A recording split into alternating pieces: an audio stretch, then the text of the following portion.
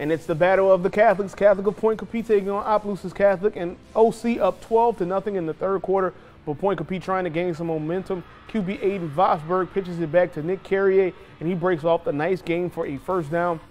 But Opelousas Catholic will hold. And then later in the third, OC trying to run out the clock, but they put it on the ground, and Pointe Coupee's Aaron Beatty comes up with the fumble, giving Pointe Coupee a glimmer of hope. But on the very next play, Vosberg with one too many pitches.